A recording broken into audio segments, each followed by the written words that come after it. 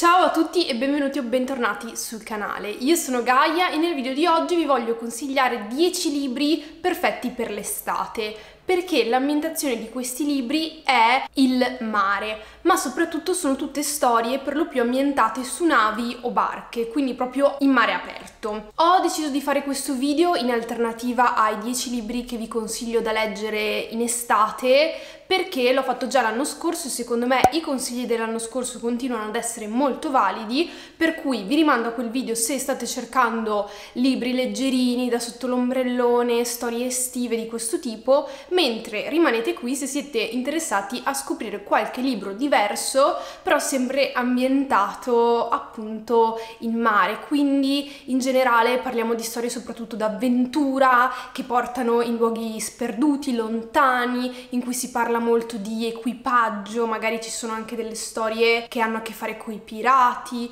non tutti i libri che vi consiglierò sono dei romanzi contemporanei ma c'è anche qualche classico e tra questi titoli spero che voi riusciate a trovare la vostra prossima nuova lettura. Detto questo inizio subito, vi ricordo di lasciare un like di sostegno se vi piacciono i miei consigli di lettura e di iscrivervi al canale se volete rimanere sempre aggiornati su questi e scoprire qualche libro nuovo. Io inizio subito, mi soffermo davvero pochissimo su ogni libro, voglio giusto darvi le informazioni principali che vi possono aiutare a capire se fa il caso vostro, non fa il caso vostro, quindi insomma sarà una chiacchierata molto veloce. Il primo libro che vi voglio consigliare è un libro non così tanto conosciuto che io ho letto durante la mia adolescenza ed è Il viaggio della strega bambina. Questo libro è un libro che parla della traversata in mare dall'Inghilterra all'America, in quanto la protagonista è una giovane ragazza che è imparentata con quella che nel villaggio viene reputata la strega e quindi per questa ragione lei vuole mettersi in salvo andando alla ricerca di un nuovo mondo in cui vivere.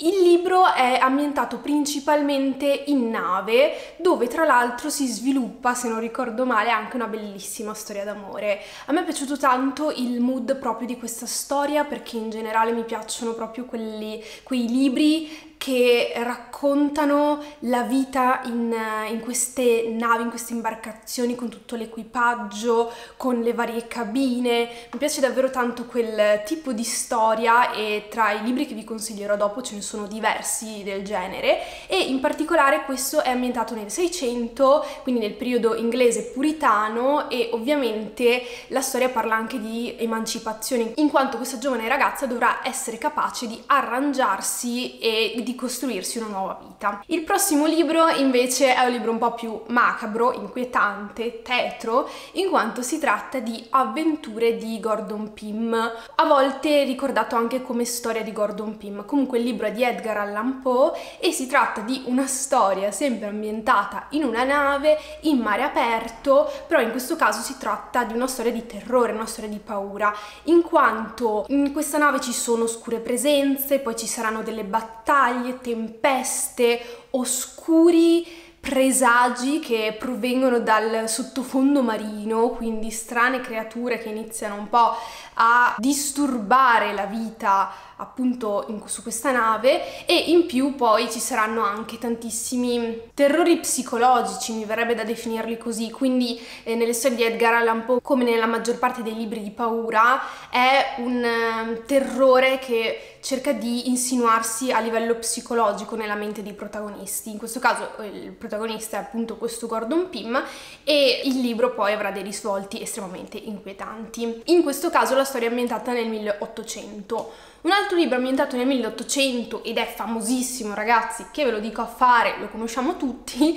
è Moby Dick. Moby Dick è la storia del capitano Acab, della balena bianca, di questo miraggio che diventa il motivo di vita per questo capitano che la cercherà in tutti i laghi, in tutti i mari, in tutti i luoghi, ovunque, perché ha un conto in sospeso appunto con questa balena. È una storia che conosciamo tutti, un grande classico. Quello che in pochi sanno però è che si tratta di un libro che a tratti è un romanzo perché appunto c'è la storia del capitano Acab, ma a tratti diventa quasi un saggio, un reportage, in quanto all'interno ci sono tantissimi capitoli dedicati a illustrare degli aspetti estremamente specifici della vita in mare, come ad esempio c'è un capitolo interamente dedicato a tutto il sartiame, tutte le varie funi, tutte le varie i tendaggi che ci sono in una nave, come la nave funziona, oppure c'è un capitolo interamente dedicato a tutte le specie di balene, tutti i cetacei e quindi questi vengono elencati, vengono suddivisi, vengono spiegati. Diventa a tratti quasi questo libro un trattato scientifico ed è secondo me uno di quei libri che al tempo era bello avere in casa, appunto perché era sì una bella storia ma anche un libro interessante dal quale si potevano cogliere davvero tante nozioni che magari al tempo erano sconosciute, almeno per chi non eh, navigava il mare, almeno per chi non aveva a che fare appunto con tutto questo contesto. Quindi una, mi viene in mente la casalinga in campagna riceveva per Natale Moby Dick, adesso sto dicendo ovviamente una cavolata, ma immaginatevelo, e si leggeva di queste cose che altrimenti non avrebbe mai scoperto, non avrebbe mai conosciuto. È un libro quindi molto lento a volte, ma è estremamente interessante. Poi andiamo avanti con un altro classico e poi passo anche a libri un po' più contemporanei, non preoccupatevi, che è Il vecchio e il mare di Ernest Hemingway. In questo libro si parla della storia di questo pescatore che è ormai anziano e non ha molta fortuna con la pesca. Infatti da più di 80 giorni mi sembra non riesce a pescare niente, però lui non demorde, quindi parte di nuovo alla volta del mare con la sua barchetta e incontra quello che è un merlin, un pesce gigante che lui decide di voler assolutamente pescare. Qui parte una storia che è quasi una metafora della vita, quindi cercare di raggiungere un obiettivo e farlo con tutto il proprio spirito, fino ad arrivare poi a uno sviluppo che è sempre più interessante a mio parere. Non vi racconto tutto il libro perché è molto breve, quindi vi lascio la lettura, comunque secondo me questo ecco è uno di quei classici che almeno una volta nella vita si deve leggere. Moby Dick vi dico possiamo anche non leggerlo, stiamo bene lo stesso, ma Il vecchio e il mare secondo me è talmente breve, talmente intenso, talmente comprensibile come libro che secondo me dargli una possibilità a leggerlo almeno una volta ci sta, cioè ci sta, Bis- non dico che bisogna farlo perché ci sono altre cose nella vita che bisogna fare, ma secondo me leggete Il vecchio e il mare di Ernest Hemingway, ecco. Allora, poi passiamo a un romanzo un po' più contemporaneo e anche un po' più esilarante, ironico, sarcastico e spigliato, che è una cosa divertente che non farò mai più di David Foster Wallace. Se fino adesso abbiamo parlato di navi, imbarcazioni con eh, marinai, qui adesso siamo invece su una crociera, una crociera di quelle proprio turistiche all'ennesima potenza dove le persone vanno per divertirsi e proprio in questo contesto David Foster Wallace si ritrova a dover scrivere un reportage giornalistico. Infatti ehm, l'articolo che lui deve scrivere è stato commissionato da Harper Bazaar, se non sbaglio, comunque da una rivista che gli dice ok, tu vai lì sulla crociera e poi raccontaci come ti è sembrata. David Foster Wallace però non riesce a farlo, diciamo, ehm, in modo distaccato, in quanto lui odia profondamente le crociere e non si priva del piacere di dircelo, non si priva del piacere di dirci che lui quei posti li detesta. Infatti anche il titolo del libro, una cosa divertente che non farò mai più, ci lascia presagire che Insomma, lui ha un po' questo tono, no? Da l'ho fatto ma non lo rifarò perché insomma non è proprio il massimo della vita. E, ed è un libro che fa super ridere ci, ci, sono proprio delle scene iconiche tipo lui che gioca a ping pong oppure quando gioca a scacchi con questo non mi ricordo se è un ragazzino o una ragazzina e, e la competizione che c'è in queste gare che, che, che, ci si ritrova a fare sulle crociere mi sembra questione di vita o di morte vincere questi tornei queste cose. E lui racconta tutte queste esperienze esperienze che fa, sempre con questo suo tono appunto esilarante, ironico, un po' canzonatorio, che a me fa impazzire, cioè nel senso impazzire in senso positivo. Dopodiché ci troviamo sempre su una nave in questo racconto molto molto breve che è quello di Baricco antico Novecento. Non potevo esimermi dal consigliare anche questo libro che è estremamente breve, questo si legge davvero in un'ora, è un monologo a tutti gli effetti in cui si racconta della storia di Novecento, che è questo pianista, se non sbaglio, che vive tutta la sua intera esistenza su questa nave, che è sempre una nave per il pubblico, non so come si dice, cioè non è una nave come quella di prima con i marinai mercantili che viaggiano dall'America all'Inghilterra, è proprio a tutti gli effetti, sì, viaggia sempre questa nave, mi sembra, dall'America all'Inghilterra o comunque dall'America all'Europa, però si tratta di una nave a tutti gli effetti per passeggeri. E lui fa il pianista su questa nave e in questa storia si racconta la sua vita. Un romanzo molto breve, molto piacevole, secondo me perfetto se avete proprio bisogno di quel libretto leggero da portarvi in borsa e leggermi durante una giornata in spiaggia. Dopodiché torno indietro nel tempo per parlarvi di 20.000 leghe sotto i mari. In questo caso la nave di cui stiamo parlando non è una vera e propria nave, ma è il Nautilus, un sottomarino, uno dei primi sottomarini della storia, secondo appunto Jules Verne che scrive questo racconto che al tempo era così di fantascienza, nel senso che in quel periodo ancora non si era arrivati a tutte le innovazioni tecnologiche che ci sono adesso. Giustamente il periodo di cui sto parlando è la seconda metà del 1800, eh, quindi la seconda metà dell'Ottocento, e Jules Verne si cerca di immaginare come potrebbe funzionare un sottomarino, come potrebbero funzionare tante cose, l'acqua all'interno di questa struttura, eh, come si potrebbe immaginare appunto la navigazione con, questa, con questo sottomarino e dà alla luce uno dei personaggi più iconici di sempre, che è il capitano Nemo. Questa è una serie davvero molto avventurosa, uno di quei libri d'avventura che secondo me è bello leggere proprio quando si sta cercando una storia eh, estremamente coinvolgente che porti in posti sconosciuti, eh, ci sono delle bellissime scene in cui loro diventano i personaggi di questo libro dei palombari, si dice così, e praticamente con questa loro tutona vanno sotto eh, la superficie marina, vanno nelle profondità del mare e iniziano a osservare che cosa eh, gli passa intorno, tutti i vari pesci, le cose. È un libro che racconta a tutti gli effetti un viaggio. E, e, quindi anche questo volevo inserirlo, sempre un altro classico. E invece di nuovo un romanzo contemporaneo è Avviso ai naviganti di Annie Brooks.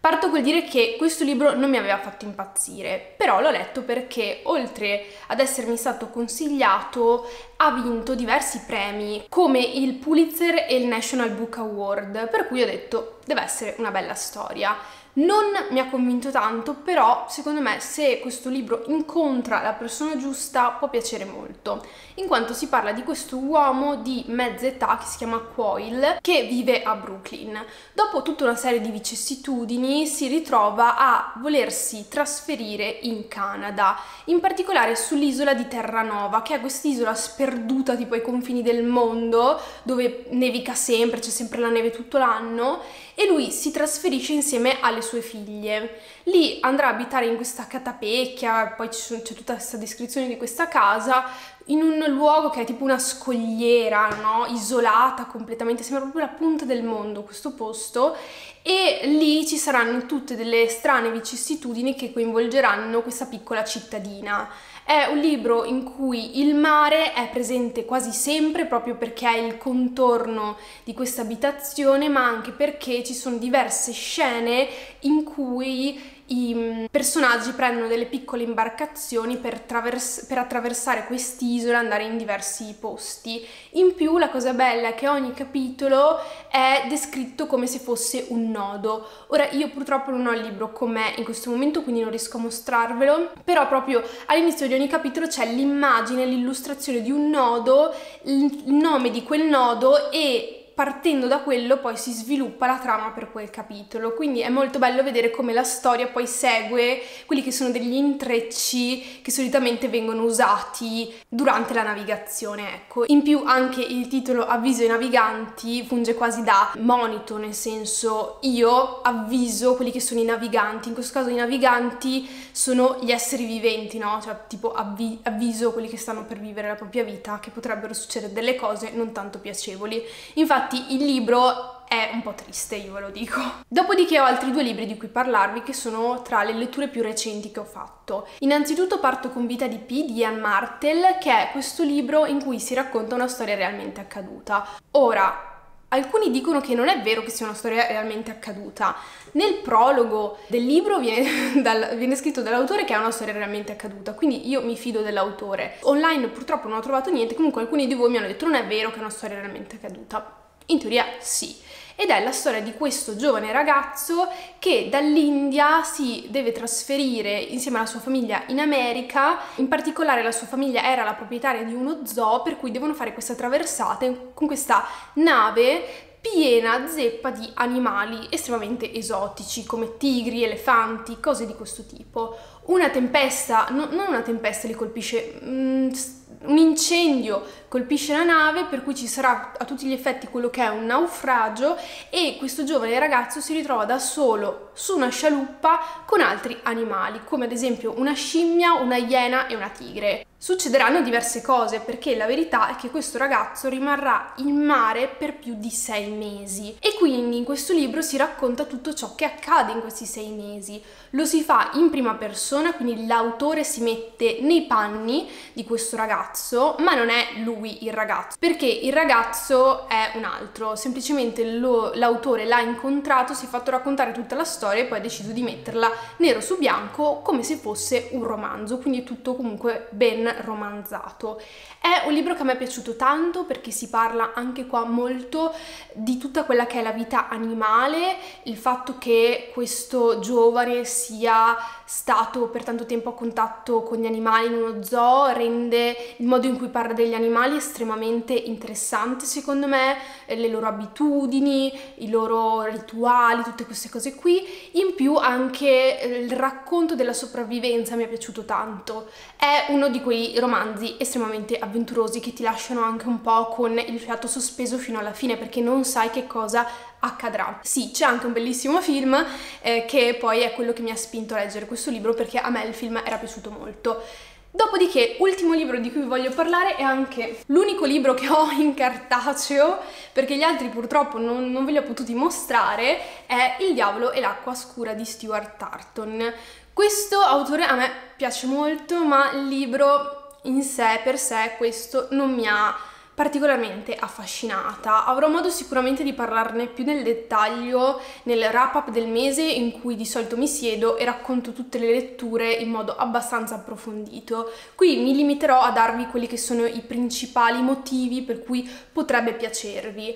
Allora, è una storia che cerca di intersecare quella che è l'indagine di un assassinio sospetto con, quella, con quello che è un viaggio in nave. In questo caso siamo nel 1600, mi sembra sempre, e quindi anche tutto il contesto è quello, quindi c'è una nave bella in legno, gigante. Tra l'altro c'è anche all'inizio proprio la mappa di com'è la nave, come sono disposte le cabine, chi sono i personaggi, perché è uno di quei libri all'Agatha Christie in cui ci sono tanti tanti personaggi, per cui bisogna avere un po' un attimo l'attenzione di capire chi è chi e di seguire la storia bene e con grande attenzione. La vibe generale è un po' quella alla Pirati dei Caraibi, perché questo Il diavolo e l'acqua scura deriva dal fatto che ci sono tantissime presenze all'interno del libro che sembrano essere quasi delle presenze mistiche. Quindi non so se avete presente in Pirati dei Caraibi che ci sono,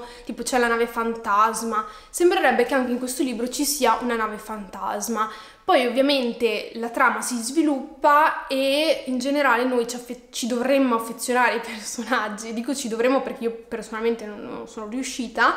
e dovremmo cercare di essere sempre più incuriositi dalla risoluzione finale di questo grande mistero, da questo misterioso, come dicevo, assassinio e tutto il resto. La verità è che secondo me il libro si perde tantissimo, si perde molto e si vengono ripetute mille volte le stesse cose, non si riesce a seguire bene, ci sono troppi personaggi, sono tutti un po' buttati lì. Non ho trovato il libro all'altezza del precedente libro scritto dall'autore e personalmente mi ha un po' delusa, ma questa ovviamente è la mia opinione personale. Se invece qualcuno di voi vuole effettivamente una storia così, cioè una storia altamente misteriosa ambientata in una nave, ben venga. Aggiungo anche che a livello storico è lo stesso autore che dice di non aver seguito molto bene quelle che sono le norme di una nave in quel periodo, nel senso che lui ha portato tantissime modifiche alla vita marinaresca e lui stesso dice questo non è un romanzo su dei marinai perché mi sono un po' allontanato da quella che è la veridicità storica.